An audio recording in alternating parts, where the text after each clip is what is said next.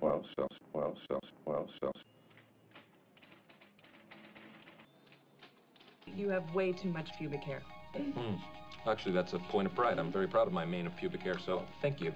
Some big testicles to pull this off, bro. Because we see this dude every day. You sure coming, bro? You have uh, red hair and uh, Yes, I do. I do. Guess what they used to call me in high school? cinnamon muff. No, they didn't call me Cinnamon Muff. I said, Oh Lord Jesus, it's a fire.